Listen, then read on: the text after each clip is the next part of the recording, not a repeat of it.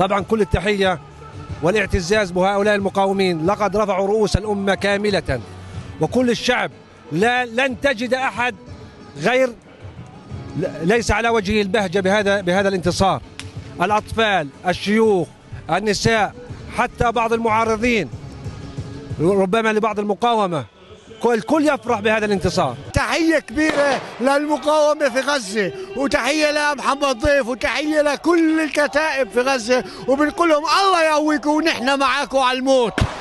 لكم ناس جنود في الضفة بتستنى فيكم وأهلا وسهلا بتحرير فلسطين. الله أكبر ولله الحمد وحي على الجهاد. جينا اليوم هان حتى نأكد ونعلن للناس أجمعين إنه نحن مع المقاومة وهذا الاحتلال لن يزول.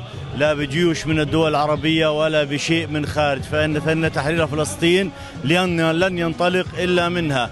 وإننا هنا جئنا لنؤكد أننا مع المقاومة قلبا وقالبا. من هنا إلى دحر آخر جندي من الاحتلال إلى إلى آخر جندي من الاحتلال حتى تحرير كل ثرى فلسطين فلسطين كل فلسطين من بحرها إلى نهرها.